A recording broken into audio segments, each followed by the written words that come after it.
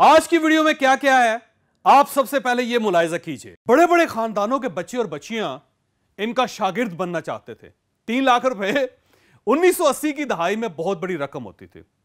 उस वक्त कमिश्नर की तनख्वाह दस हज़ार रुपए होती थी।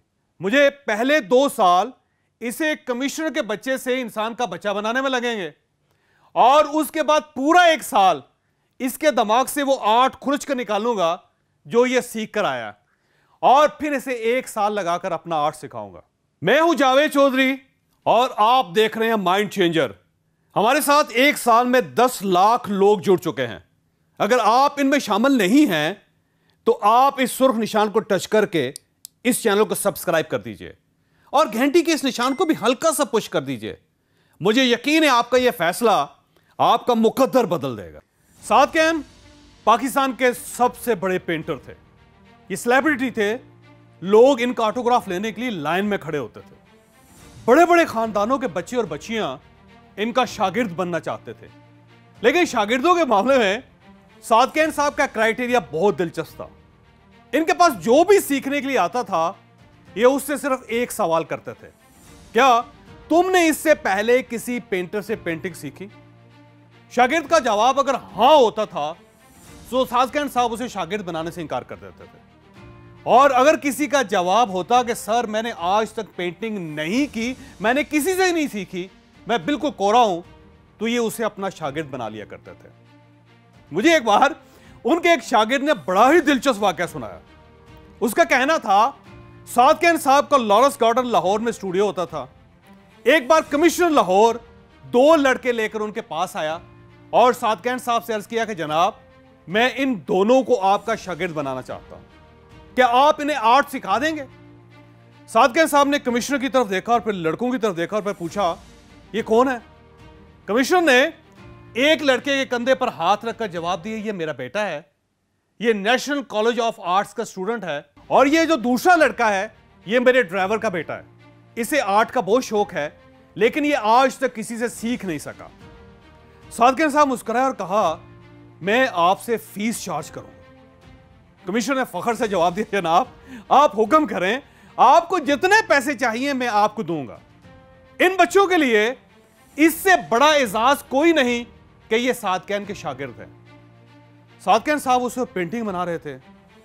उन्होंने ब्रश और पेंट नीचे रखे और कमिश्नर के बेटे के कंधे पर हाथ रखकर कहा, मैं इसकी फ़ीस तीन लाख रुपए लूँगा और इसे सीखने में दो और दो चार साल लगेंगे। जबकि मैं ड्राइवर के बेटे को पचास हज़ार में सिखाऊँगा और ये एक साल में पेंटर भी बन जाएगा। तीन लाख रुपए 1980 की दहाई में बहुत बड़ी रकम होती थी।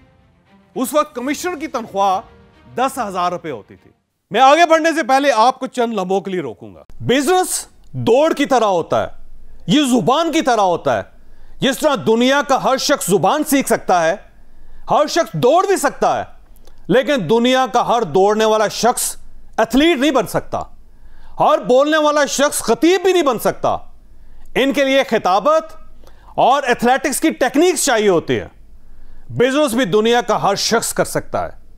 लेकिन इसे कामयाब और बड़ा बिजनेसमैन बनने के लिए टेक्निक्स चाहिए होती हैं। और आज के दौर में आप जब तक बिज़नेस की मॉडर्न टेक्निक्स नहीं सीखते, आप कामयाब और बड़े बिजनेसमैन नहीं बन सकते।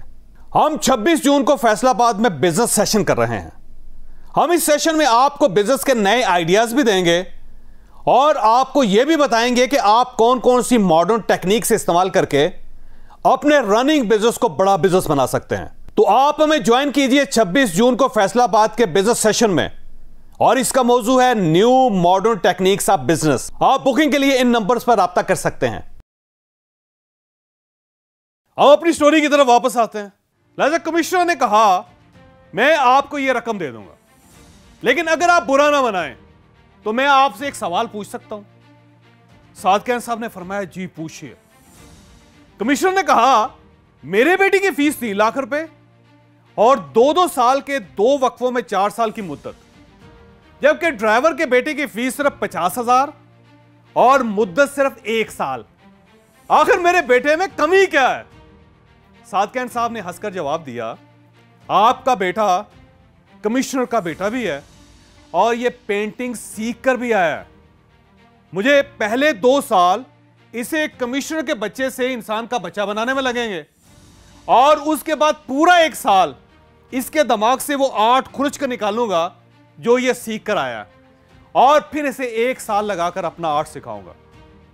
जबकि ड्राइवर का बेटा ड्राइवर का बेटा है और इसे आर्ट की अलफ बे भी नहीं आती। लिहाजा ये एक साल में सीख जाएगा। भाइयों और बहनों, हमें ज़िंदगी में बाजुकात, अपने वालदेन से जो कुछ मिल जाता है, और हमने जो कुछ सीख लिया होता है, वो हमारी ज़िंदगी की सबसे बड़ी रुकावट बन जाता है। हमें लर्न किए हुए को डी लर्न करने और उसकी जगह री लर्न करने में मुद्दतें लग जाती हैं।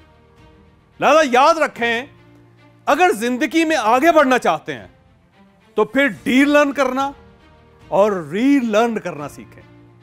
दिमाग के वाइट बोर्ड को साफ़ करते रहा करें, ताकि उस पर नई और खूबसूरत तहरीर लिखी जा सके। अगर आपको ये वीडियो पसंद आई तो आप इसे किसी न किसी के साथ ज़रूर शेयर कीजिएगा। ये इनशाला किसी न किसी का माइंड और फिर मुकद्दर ज़रूर चेंज करेगी।